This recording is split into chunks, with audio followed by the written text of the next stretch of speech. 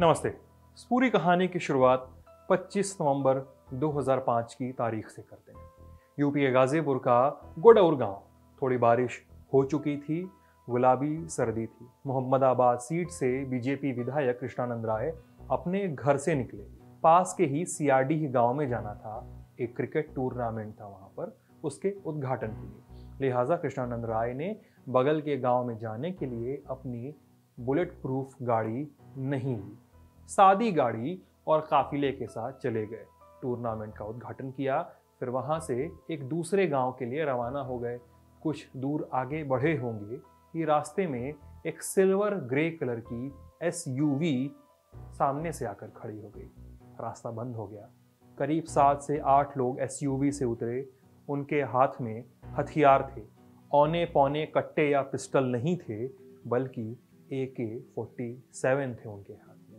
पूर्वांचल का सबसे बड़ा हत्याकांड होने जा रहा था। एसयूवी से उतरे लोगों ने विधायक कृष्णानंद राय की गाड़ी पर फायर झोंक दिया। खबरें बताती हैं कि इस घटना में 500 राउंड से ज़्यादा गोलियाँ चली थीं।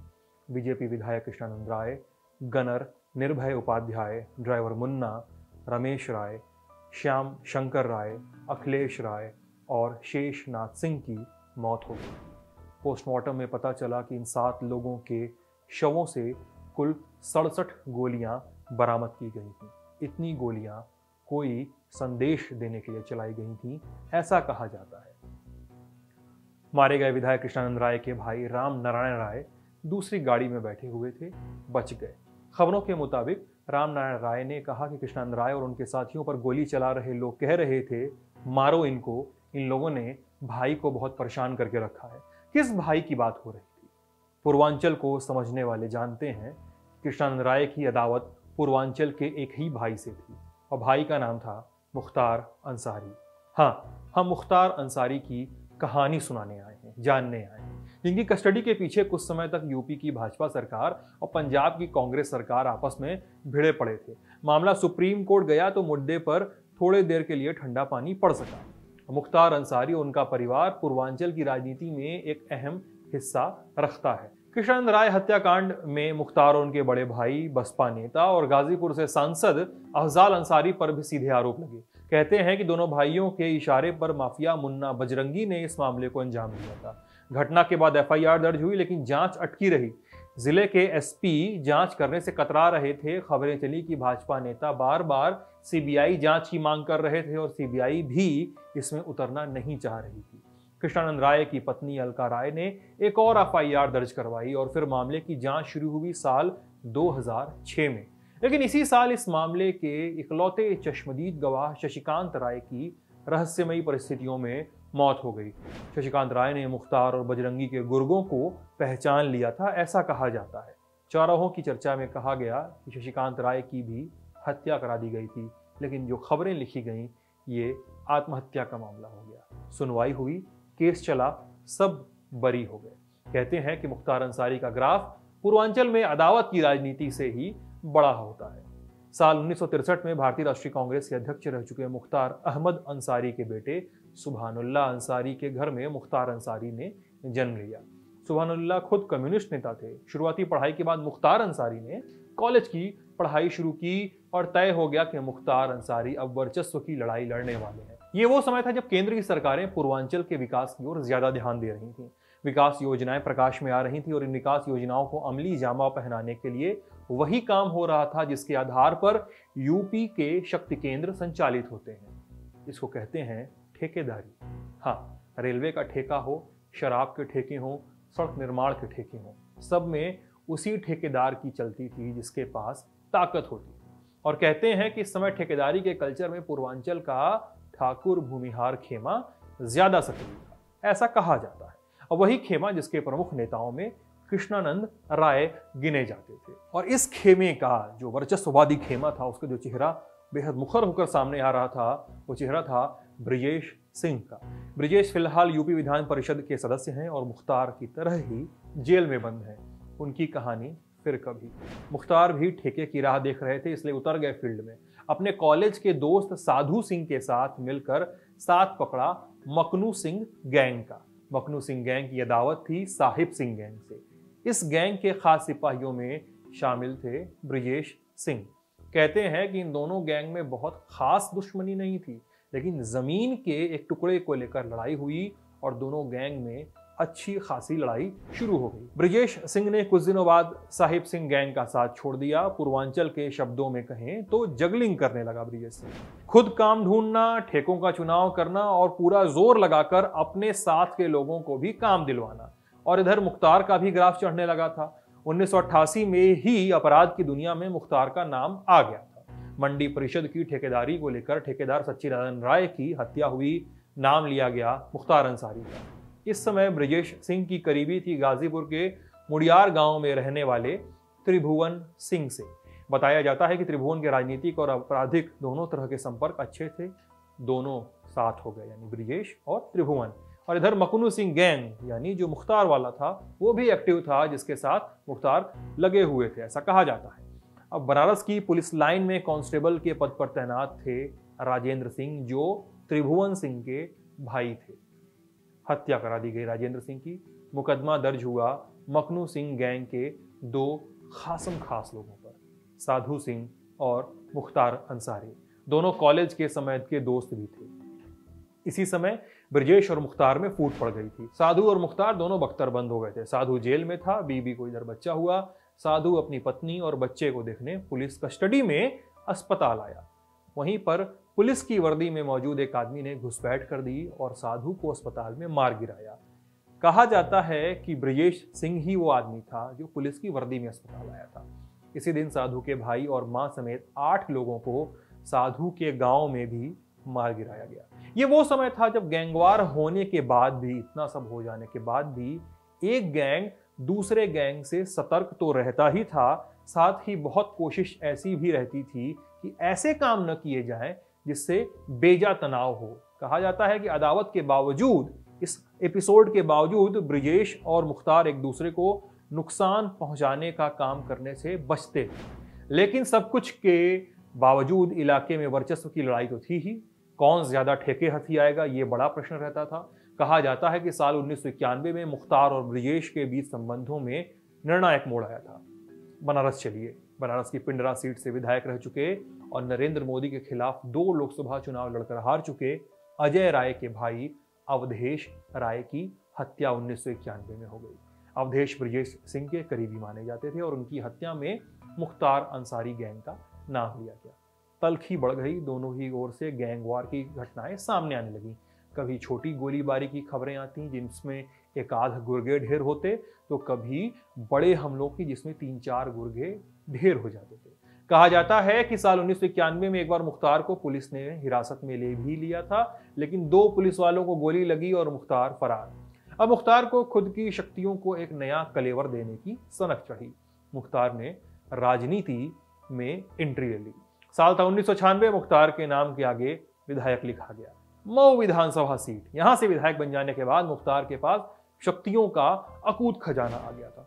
कहते हैं कि इसके तुरंत बाद पुलिस भी मुख्तार पर हाथ डालने से डरती थी। ठेके वगैरह आसानी से मिल जा ही रहे थे तो ब्रिजेश सिंह का गैंग भी मुसीबत में पड़ गया था। उन लोगों पर पुलिस का दबाव भी लाजिम है कि ज़्यादा ही था। और इधर मुख्तार का मेक ओवर पीरियड चल रहा था। रॉबिन हुड की छवि बनाई जा रही थी। किसी का कोई सरकारी काम अटकता किसी को घर में पड़ी शादी के लिए आर्थिक मदद चाहिए होती, नौकरी का लफड़ा होता तो मुख्तार अंसारी के दरवाजे पर पहुँचा जा सकता था। कहा जाता है कि दूल्हे तक को उठवा लिया जाता था मुख्तार अंसारी के कहने पर। कहानियाँ ही हैं, मुख्तार अंसारी की ओर से मदद भी मिलती थी, और 19वीं सदी का अवसान ऐसा समय था जब पूर्वांचल के मुस्लिम बुनकरों के बनाए कपड़े तो लाखों में बिकते थे, लेकिन बुनकर खुद मोमबत्ती, लालटेन की रोशनी और हाथ से डुलाने वाले पंखों की मदद से रहते थे, ज़िंदा थे, बिजली नहीं आती थी। जो इक्का दुक्का लोग हैंडलूम के बजाय पावरलूम लगाने का सपना देखते थे, वो सपना रोज़ाना कई घंटों की बिजली कटौती में कई बार टूटता था। कहते हैं कि मुख्तार ने इस दिशा में काम शुरू किया और बहुत हद तक कई इलाकों में बिजली की समस्या को सुलझाने की दिशा में सार्थक प्रयास किया गया। रॉबिन हुड तैयार था। पत्रकार बताते हैं कि मुख्तार की तूती बोलने लगी थी। वो लोग इंटरव्यू लेने जाते थे, यानी पत्रकार लोग तो सुनहरे रंग की चश्मे की फ्रेम के साथ मुख्तार अंसारी सामने हाजिर होते। और कई मौकों पर जेब से पिस्टल निकालकर खेलना शुरू करते इमेज मेक ओवर का बड़ा फ़ेज़ था। लेकिन ये वो समय भी था जब केबल टीवी की क्रांति आ चुकी थी देश में। लोग घरों में केबल कनेक्शन लेते थे, गर्मी की छुट्टी में तो लेते ही थे, बाद में भी साल साल भर के लिए ले लेते थे। राष्ट्रीय चैनल तो आते ही थे, लोकल चैनल भी टीवी पे आते थे। शहरों के जो बड़े प्रतिष्ठान होते थे, वो किसी लोकल कैमरामैन को पकड़कर अपनी दुकान या शोरूम का एक भारी भरकम विज्ञापन शूट करवाते थे लोकल चैनल पर विज्ञापन दे दिए जाते जिनके घर में केबल टीवी है, वो विज्ञापन देख सकते थे। और विज्ञापन आने के साथ ही टीवी पर उन दुकानदारों के पास एक फ़ोन भी आता था टैक्स मांगने के लिए। इसको कहते थे गुंडा टैक्स रंगदारी। इसमें एक आपराधिक गैंग प्रोटेक्शन देने के नाम पर व्यवसायियों से पैसा माँगता था। जो शातिर व्यवसायी होते थे वो भी शायद ही बच पाते थे इससे। और टैक्स वसूली में मुख्तार और ब्रजेश गैम का ही नाम ज़्यादा सुनाई पड़ता था। टैक्स मांगने वाले के तार किसी न किसी रूप में इन दोनों लोगों से जाकर मिलते थे, जुड़ जाते थे। तो मिला जुलाकर मुख्तार ने अपने लिए बड़ी राजनीतिक ज़मीन तो तैयार कर ली थी।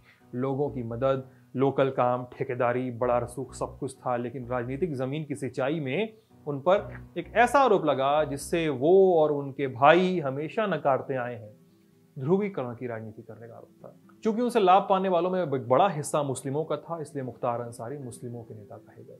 इस बात को उन्होंने और उनके भाइयों ने कई बार काटा, कई बार काटने की कोशिश भी की। लेकिन कहा जाता है कि इसी तबके के वोट बैंक पर चुनाव जीत लिया ऐसे में मुख्तार के बड़े भाई और सांसद अफजाल अंसारी कहते हैं कि बस कुछ फ़ीसद मुसलमानों की मदद से चुनाव नहीं जीता जाता। तो बस बात काटने से बहुत सफलता नहीं मिलती है। मुख्तार पर दंगे भड़काने के भी आरोप लगे। खुली जीप में बैठकर सांप्रदायिक दंगे भड़काने के आरोप और केस भी दर्ज हुआ। अब राजनीतिक ज़मीन पर जो हो रहा हो, मुख्तार और ब्रिजेश के बीच गैंगवार चल ही रही थी। छिटपुट घटनाओं के बाद आया साल 2002 मुख्तार अंसारी पर बड़ा हमला हुआ। इसे कहते हैं उसरी चट्टी कांड। पूर्वांचल के लोगों को, अधिकतर लोगों को पता है उसरी चट्टी कांड क्या है। कहा जाता है कि ये हमला ब्रिजेश सिंह ने भाजपा नेता कृष्णानंद राय के कहने पर करवाया था। इसी साल कृष्णानंद ने इसी सीट पर, यानी मोहम्मदाबाद पर, पाँच बार के विधायक और मुख्तार के बड़े भाई अफजाल अंसारी को हराया था। लोग बताते हैं कि ब्रिजेश सिंह ने हमले के दौरान मुख्तार को कम आंका। मुख्तार के तीन गुर्गे मारे गए, गनर मारा गया। मुख्तार घायल हुए थे तो ब्रजेश भी घायल हुए। ब्रजेश की साइड से भी एक दो लोगों के मारे जाने की खबरें आई।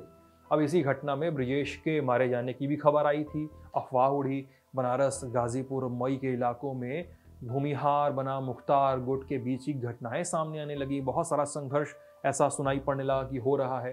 अब तीन साल बाद 2005 में कृष्णानंद राय की भी हत्या हो गई, जो हमने इस कहानी की शुरुआत में बताई है। मुख्तार, कृष्णानंद राय की हत्या के समय जेल में और घटना के तीन साल बाद 2008 में दिल्ली पुलिस की स्पेशल सेल ने ब्रजेश सिंह को भुवनेश्वर से अरेस्ट कर लिया। ब्रिजेश ज़िंदा थे। तब से मुख्तार और ब्रिजेश दोनों ही जेल में हैं और कहा जाता है कि दोनों अपनी ही मर्ज़ी से जेल में बैठे हुए हैं, जब चाहे बाहर आ सकते हैं। मर्ज़ी से इसलिए क्योंकि बाहर आए तो सामने वाले से खतरा है। अब अंसारी परिवार का राजनीतिक सफ़र भी विवादों के घेरे में रहा है। खुद सीपीआई से राजनीतिक पारी की शुरुआत करने वाले मुख्तार एंड फैमिली ने साल 2007 में बसपा का हाथ थामा था। बीच में थोड़ी सी निर्दलीय वाली राजनीति भी हुई थी। मायावती से सवाल पूछे गए कि मुख्तार एंड फैमिली को क्यों लाया गया बसपा में? तो जवाब आया, गरीबों का मसीहा और कमजोरों की लड़ाई लड़ने वाले कैच फ्रेज के साथ। साल 2009 आया और लोकसभा चुनाव आए देश में। मुख्तार ने बनारस लोकसभा सीट से पर्चा भरा। सामने थे भाजपा के वरिष्ठ नेता मुरली मनोहर जोशी।